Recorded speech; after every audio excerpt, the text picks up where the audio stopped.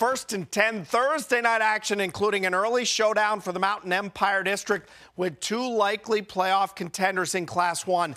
Galax at Giles. So here they come, dare I say, barreling through in red. That would be the Giles Spartans first quarter single wing. Christian Ratcliffe going to keep this one little reload, explode off the right side and into the house right there. Spartans up 7 0. Later, Mason Cox trying to set something up for Galax. He finds Austin Ashworth. Nice catch right there. And we've got a drive brewing for the Maroon Tide. But watch this big play on defense. Galax, Henry Brown sacking Cox on third down. Galax would go into halftime scoreless, but they scored four second half touchdowns to win this thing 28 14.